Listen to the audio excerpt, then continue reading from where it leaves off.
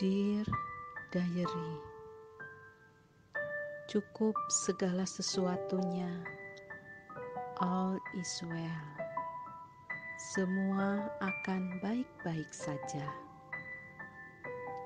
Saat aku melihat keluargaku Aku hanya dapat berkata Hidup ini anugerah dari Tuhan. Menjadi lansia sering membuatku melihat segala kekuranganku. Aku mudah lupa melihat kalau aku tetap bisa menjadi anugerah bagi sesama dan penyalur berkat bagi orang lain. Aku pikir aku telah menempuh perjalanan yang panjang, dan aku telah meresapi dan mengolah begitu banyak pengalaman. Di sini, aku merasa perlu bersungguh-sungguh memilih bersyukur, bersuka cita, bahagia, dan tidak mudah mengeluh.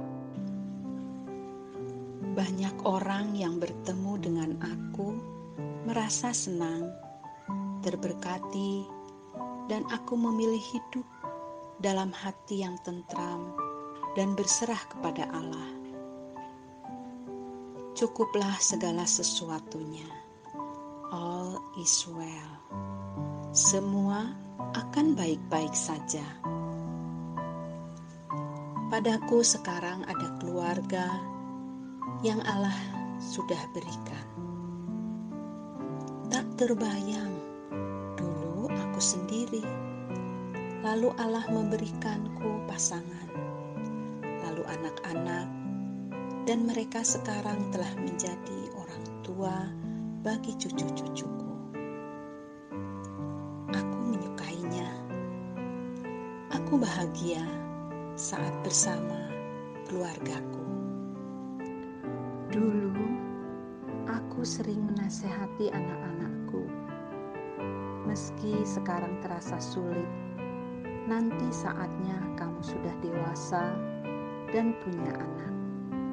Kamu akan mengenang mengurus anak-anak mama dari kecil sampai dewasa. Aku bersyukur untuk mereka.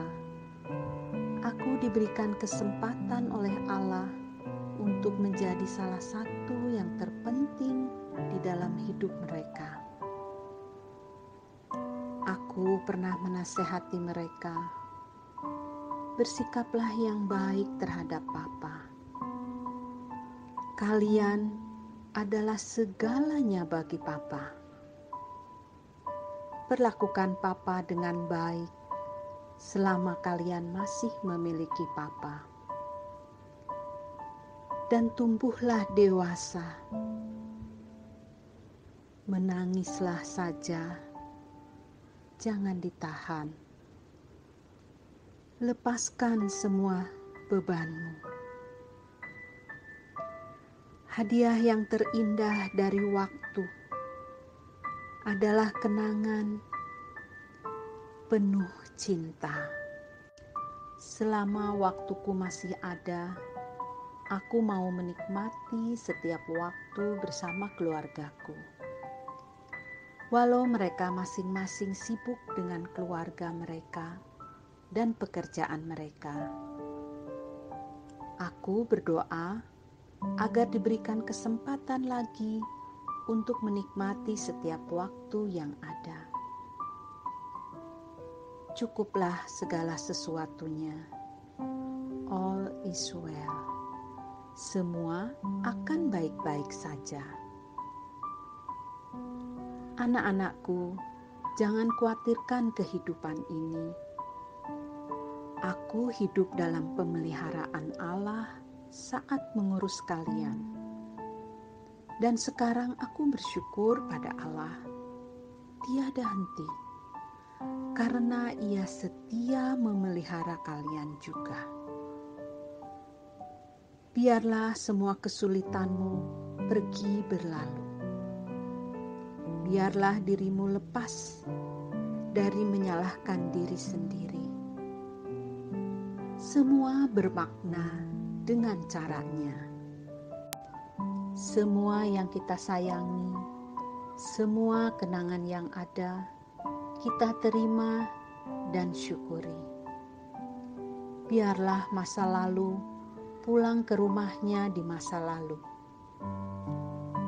Semuanya ada bermakna dengan caranya.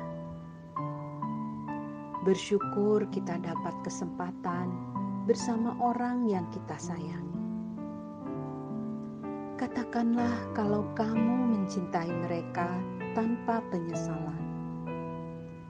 Seperti aku mencintai kalian, anak-anakku, dan cucu-cucuku. Cukuplah segala sesuatunya. All is well. Semua akan baik-baik saja. Tuhan, aku bersyukur melihat keluargaku.